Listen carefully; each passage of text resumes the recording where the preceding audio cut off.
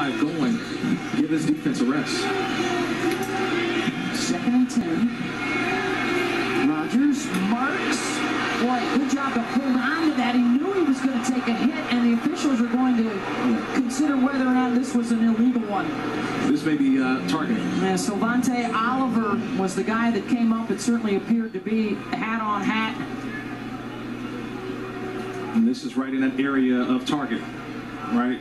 The lowering of the helmet, that's the indicator.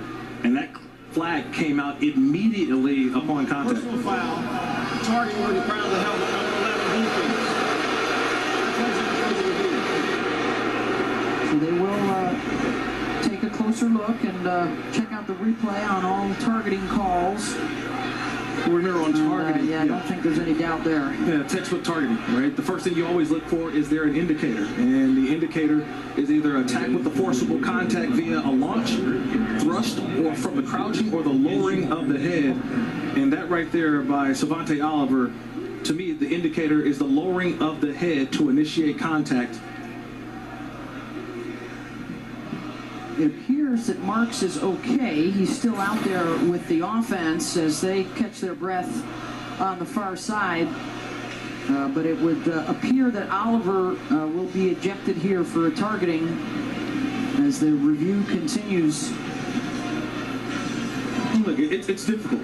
That is a difficult play for a defender. I'm not going to say that it's easy. Out there in the open field, and you're just trying to go out and make the tackle, but you got to take the head out of the game. And that lowering of the helmet, that's all I'm watching. The lowering of the helmet, the crown of the helmet, you can see that's textbook targeting right there. That's how they draw it up. That's how it's written in the rule book.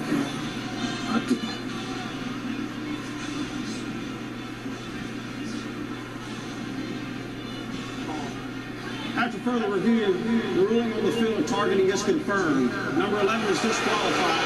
15-yard penalty added to end run. First down.